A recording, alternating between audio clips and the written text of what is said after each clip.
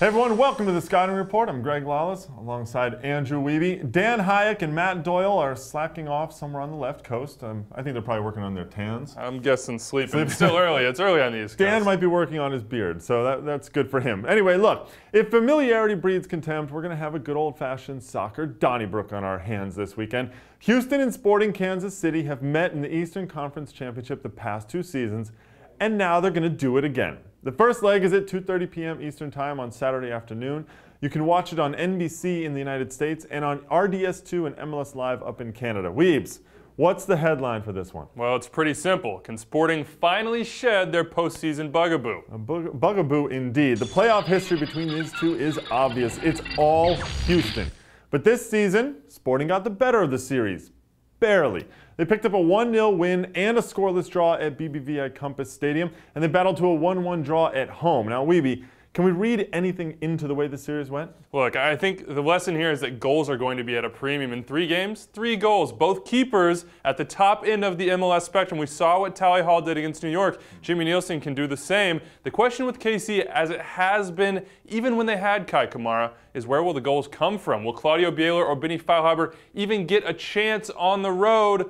Probably not. In truth, I think another scoreless draw like October 9th would be massive for Kansas City heading home. Meanwhile, for Houston, can they recover from a hectic schedule to take care of business? Look, they're scoreless at home against KC this year. Will Bruin, Giles Barnes, Knox, nursing a little bit of an injury concern there, and chances were slow in coming against New York. I think they'll need the midfield to drive things. Fortunately, you got Boniek Garcia and Brad Davis, so that's always a good thing. But for Houston, it's about putting the pressure on KC heading back to Kansas City. Sporting cannot give up that two-goal cushion. They did it last year. They couldn't recover. We've seen how that worked out for them. Well, the Dynamo, indeed, you talked about the all the games. They played five games in the last two weeks. That's tough for them. Time now for the WTF stat. This is as simple as it gets. Zero, nada, goose egg, donut, whatever you want to call it. That's how many goals Graham Zusi has scored in 10 total games against Houston in his career, Weebs. Look, if you want Graham Zusi to be a goal scorer, you're always going to be disappointed. That's just not him. I want him to be a goal scorer. That might be true, but I still want him to be a goal he, scorer. He, he gets his fair share, but he's a chance generator. He's got the instincts to get on the scoreboard, yes, but the Dynamo are going to have to watch out for him delivering the final ball and also on set pieces. You do not want to give him the opportunity to stand over it on the right flank in a good place to find those big bodies in the middle. We've seen what Aurélien Collin has done this postseason, but Sporting need him on the other side as well, especially at BBVA mm-hmm. Compass Stadium. He's got to track Boniek, Davis, Rico Clark. They need his pace. They need his endurance to keep that midfield in check.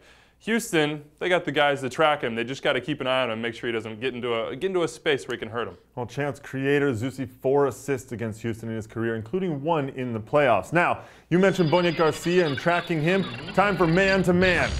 Boniek Garcia and Seth Sinovic. This is form versus function here, Weebs. Yeah, it certainly is. Brad Davis may still have the best left foot in MLS, but the Dynamo attack now revolves around his Honduran teammate. Wednesday's game at Red Bull Arena was this in a nutshell. Dom Kinnear switched things up to free up Boniek, and Sinovic is going to have his hands full, as well as Kofi Sarkodie. Remember, it's not just right. Boniek. It's Kofi coming around that right side and overlapping and allowing the Honduran to push in at drive and goal. Look, whoever partners Sinovic, it could be CJ Sapong, it could be Soony Saad. We'll have to wait and see on that. They've got to track back, and they've got to also make sure that they can keep those two guys for Houston pinned back. If they can do that, that could go a long way toward minimizing his impact. All right, well, it's noodle time down in the Bayou City, and you know, you know what noodle time is, right? I have no idea. no idea. Well, that's what the Dynamo and their fans call this time of year when they pick it up. We saw the Dynamo pick it up against New York. They got through, and now it's Houston Sporting KC again in the Eastern Conference Championship.